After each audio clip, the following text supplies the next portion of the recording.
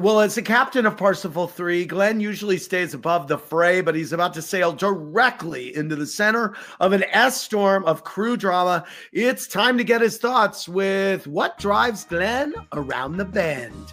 Uh, Captain Glenn, how did you feel about Jenna in particular complaining about what sorry shape the boat was in when she came on board?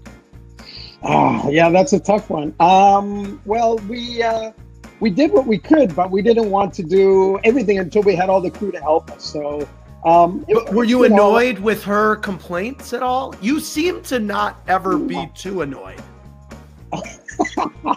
I get annoyed. I try not to show it too much. Uh, I think what, yeah, I mean, it was a circumstance, and I also kind of used that to see how the crew gelled together in a in a crisis to get things done, and I think they came through with flying colors. So it was kind of a little bit of a test and I'm not I'm not that upset that that you know they were they were a little bit you know bugged out about it, but it was also it gave me a good insight into how they can work under pressure, and that's part of what we do. So they need to be ready for that.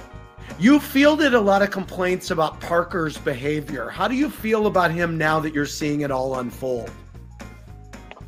Well, obviously, I don't get to see everything because I'm not everywhere at all times, and there's a lot of interactions with the different departments. Um, I think Parker's great. I love Parker. He's very enthusiastic, um, but he needs to he needs to sort of just get on with it, not speak so much about you know his issues, and just get on with the work that he's directed to do. You know. You know, do you sympathize with Madison and Georgia's complaints about Jenna's management style, or do you think she's a strong chief stew, or both? I think Jenna's a, uh, definitely a strong uh, chief stew, and I think that's really important. But there's definitely some friction in that department. Um, but again, I think it's just the kind of thing that if you're not a department head, you should be sort of taking the lead. And maybe it's not the way you want to do it but you still have to you have to be a good follower to be a good leader. And if that's their aspiration to move up the ladder then you know maybe it's not the way you would do it but just get on with it. I mean jenna's in that position for a reason. Um, what was your reaction to madison and Ciara slacking with the beach picnic setup um, I, you know, I, I wasn't, wasn't too impressed, but I, I chalked that up to a misunderstanding. I think maybe we could have made it clearer how soon the guests might be coming.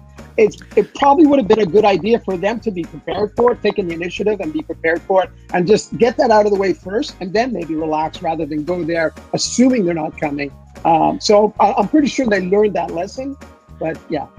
Um, before I talk to uh, Ciara and Paget about this, do you think that Paget is crossing the line with Georgia, even though Ciara says she's unbothered by his flirtations? I don't. I wouldn't say he's crossing the line. He's definitely pushing it. He's pushing the envelope. but, but being a little bit flirtatious is okay if it doesn't go any further than that. Obviously, if it were to go any further than that, and in my career, I've seen some crazy stuff, like way worse than that.